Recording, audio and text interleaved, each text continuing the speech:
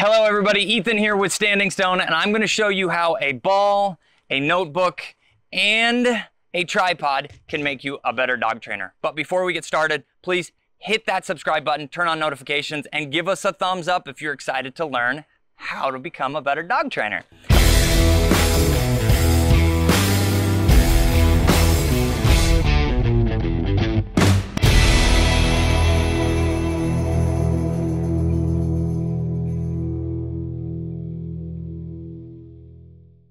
We're going to get started. First of all, the most important thing that we talk about on a regular basis is timing. Now, you've seen in our other videos, we utilize clickers, right? That marks a behavior, but I see all the time that folks timing with the clicker specifically is off. Now, this is where the ball comes in.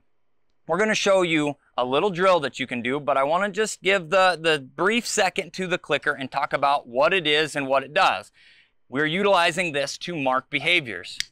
That click noise, we have to build a positive association in the beginning, and then once the association is built with the noise, it buys us some time. You can mark the behavior when it happens, and then say a few seconds afterward, provide a reward. But the dog already knows I did it right. Now, some people like to utilize yes or good or another verbal marker. Um, what I found with this is that it carries no baggage and it's easily transferable from one person to the next. So if you have a family full of people training, everybody saying yes sounds a little different. And in the beginning, this is going to help you to get on the right track faster. Now, the timing aspect of it. When we work with a dog, we want to be marking the second that that behavior happens. And I see a lot of times that people are like, the dog sits and then the click comes afterward, which isn't the end of the world, but it has the potential to cause confusion as you move through training. So this is the ball drill. This is a simple one. You're not gonna have to do it a lot, but doing it two or three times is going to build confidence in your timing and your ability to know how to utilize the two with proper timing skills, okay? So all we're going to be doing is dropping the ball. This is a racquetball. We don't use these in dog training, but you're going to utilize something similar to this in your drill. The ball drops, right? Everybody can see when it hits the wood. You can hear that little thud. Now the drill here for you to work on is to try and mark when the ball hits the ground, okay? This is the few first few times you're gonna do it, it's gonna be like Oh, that was off. Oh, I jumped early that time. And then you can get to where you can pretty much mark when the ball is actually hitting the ground. And that's just going to help you to familiarize yourself with the clicker and build a better understanding of timing. The better your timing is, the more consistent you can get the, the point across to the dog, and that is going to help your training to move on in the right direction. The next thing is this notebook, okay? So if you look into dog training or animal training in general, a lot of folks are going to recommend that you utilize journaling. And there's a couple things that are going to be important to this. When you are keeping these notes, it's going to help you to recognize, that's what the notebook is for, journaling.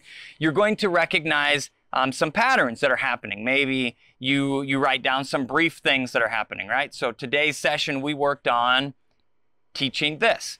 Um, Sparky struggled today, but overall, uh, you know, he didn't sleep well last night. You can include some of those things while they're fresh in your mind. And then if you're struggling, you're able to keep an eye on where you're at. The next side of it is you're teaching a lot of different things. And if you can keep some accurate notes of what happened, it's going to help you to know where you left off, especially when you're working with a young, versatile dog. You're moving from some field work to some obedience work, to some retrieving work, and you're jumping around to all of these different things. They're not all happening in order or the same day or the same week, even sometimes. So, having a good journal with notes kept written down here is going to be an important way to help you to keep track, have a good direction in where you want to go with your session and better prepare you for what your dog is ready for and why they're struggling or why they're excelling and how to continue down that path. That is number two. And the third thing, okay, this is a tripod. A lot of folks say, because I make this recommendation all the time, to video your training sessions, right? With the tripod, this allows you to set it up, point it over an area, and then watch the session as it happens. Now, why is this going to make you a better dog trainer? You may be thinking this right now. There are two main things, okay? First of all, everybody that's watching this video right now is probably used to watching dog training videos. You watch some of ours, maybe find some others on YouTube, and as you are watching the videos, you see, wow, he did that right there, and that timing looked good, and that made the dog, or that helped the dog to be successful. And I can see those things visually happening, and I know what it looks like for things to go right when you are actively working with the dog, it's not as easy to tell what mistakes you may be making, even if they're really subtle. Something as simple as the timing that we discussed in the beginning. Your click was off or something like that. If you were able to watch that video session back and go, ah, haha, my timing was off. I can see that now because it doesn't look like what I watched on those videos that Ethan and Kat put out. Okay? Couple tips with this. You can use any tripod, literally any tripod. If you have one at home, just buy a cell phone adapter. If not, they sell cell phone adapter kits that come with a remote shutter so you can start and stop the video with a button that you put in your pocket to make all of this easier. If you have somebody to help you, that's fantastic, but most of us don't have that luxury to have somebody there to help video session. When you set up your phone in the tripod, you want to tighten it down so that you don't, um, so that it doesn't fall out. And this one's set for a bigger phone, but then turn it sideways, okay? That sideways view or horizontal view is gonna give you a bigger picture of what's happening.